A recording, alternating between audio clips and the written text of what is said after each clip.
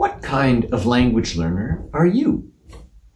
Different types of language learners need different types of advice, different types of materials and methods and approaches, and different types of planning if they're likely to want to learn more than one language.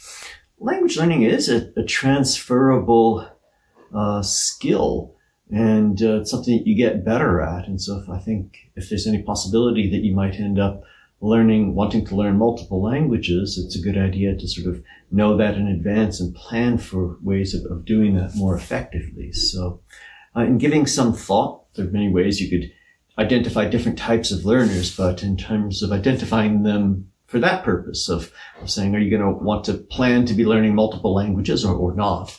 Um, I sort of uh, gave this some thought and came up with a number of categories of different types of learners. I'd like to run through them with you and see if uh, you can identify yourself in any of them resonate with them, or if you can think of any other uh, types of, of learners. So the first type of language learner, I think, is the most, most common, and I'm talking about beginning language learners who are, I guess I'll call them normal people, average, typical people who are learning a language because they need to somebody's required it of them. It's necessary in school. Uh, for some reason, it's, it's a practical necessity. Um, and so you need to do it. And so you want to do it right. You haven't done it before, or maybe you had some experience learning language in school, but you didn't really learn very much. So um, you don't have much experience. It's just something you need to do. And uh, maybe you're looking for advice uh, because you want to do it right. So I think that's probably the, the most common category of, of language learner out there um, sometimes these people make um, good progress and then they can turn into this second type of learner, uh, which is what I'm going to call the improving learner.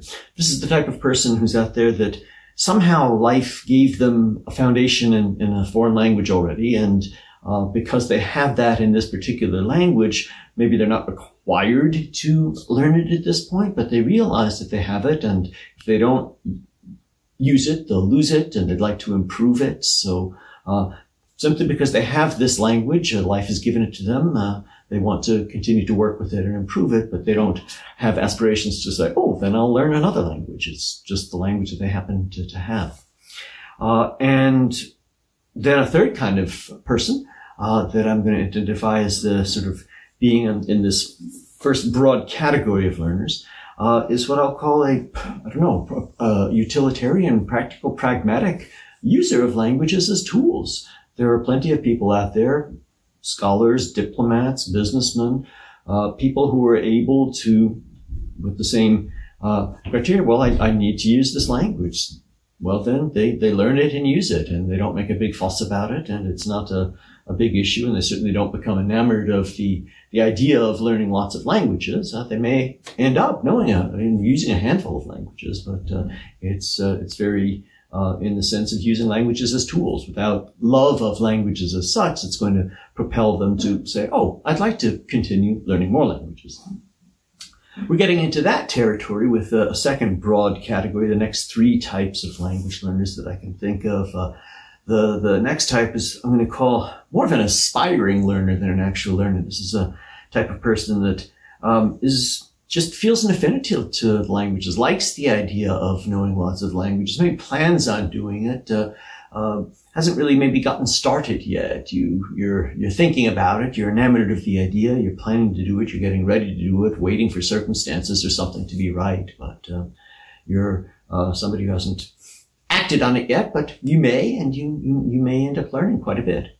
Um, maybe you act on that. Maybe you got started. Maybe you get a foundation or base and when you get a taste of language learning, and it's not just an idea that's interesting anymore. Uh, it is, uh, yeah, you've, you've, got a taste of it. And so the next kind of learner, the fifth type of learner I can think of in this would be what I'm going to call, mm, maybe an admiring and, and emulating learner because the same way you found this video here on YouTube, maybe you'll come here uh, after getting a, a, taste of language learning and come here and, and, and I'm just a boring old professor talking about things, but there's a lot of young dynamic polyglots out there that are making interesting films about them traveling around the world using their languages. And so maybe you find somebody like that and you say, wow, I, I you know, I'd like to be like that. So that's uh, something to aspire to.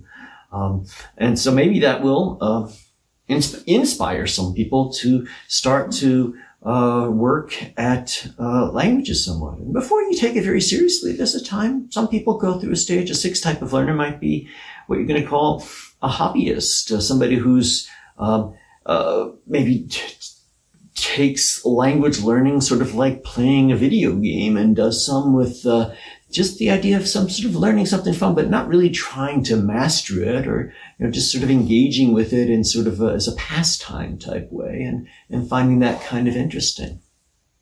Well, if you find that kind of thing interesting and you, you keep it up long enough, you, you might actually learn a language. And so I'm going to cross into the next level of, of, of, of types of language learners. And these are the ones that I think need the, the most planning because these are people that are likely to end up possibly uh, wanting to, to learn lots of languages. Uh, the next type, the seventh type that I can think of of, of a language learner is what I'm going to call the thirsty language learner. A thirsty language learner is somebody who um, has learned a language or two and, and, and likes it and now feels confident about it and has an idea, oh, well, there's, there's another language or two, you know, they've still got, uh, maybe not so much of a, of, of, of, a, of an idea that, oh, maybe I'll want to learn even more than that. But, um, there's sort of, uh, I'm starting to get to that handful quantity and starting to think, hmm, this is, this is an interesting and rewarding activity in itself. And then that kind of person could possibly turn into the eighth type of language learner, which I'm going to call the, um, reasonable, restraining, uh, type of, of, of, language learner who's really got a taste now for learning lots of languages, who's got a couple of languages under his or her belt, um, and uh, would really like to learn a lot more and just is enamored of the idea of learning more, but is also cognizant of life's limitations, uh, limited numbers of hours in a day and years of life and other obligations and knows now how much time it takes to really learn a language. So it can be a bit realistic and say, well, I'd, I'd like to have a, a, hit list of languages, but you know, I am going to try to think in, in, in terms of, of a five or 10 year plan. And what can I do in terms of that time frame? So uh, this kind of person is going to set up some, some limits and, and, and try to work within them.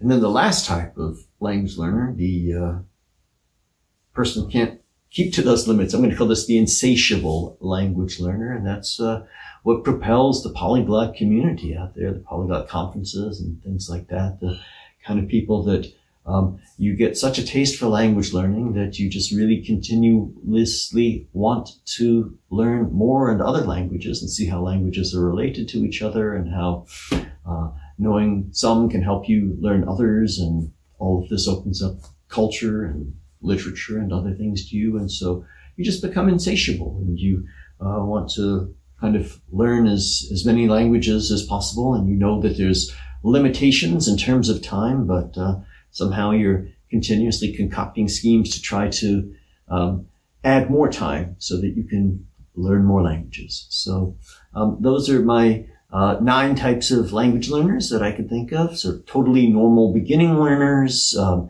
people who've got a language under their belt uh, and want to improve it, uh, people who've maybe got several languages and can use them as tools but don't need to get fascinated by language learning as such.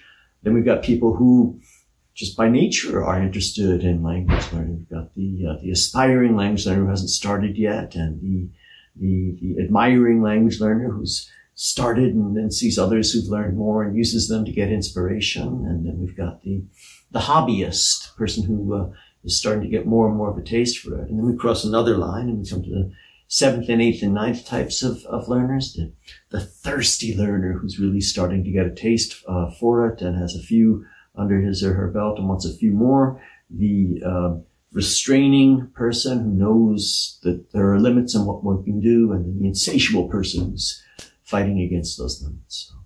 So, are you one of these, or is there another type that you can think?